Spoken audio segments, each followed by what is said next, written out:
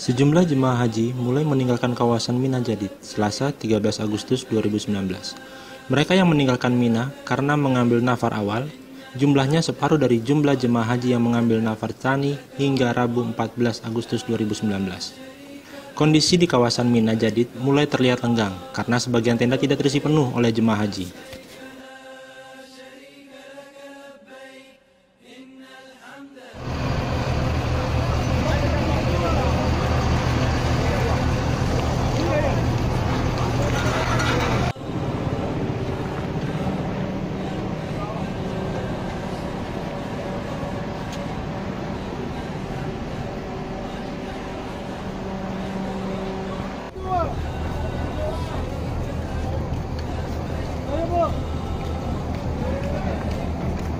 Ada siapa berita, Pak? Bapak Pak Miskon.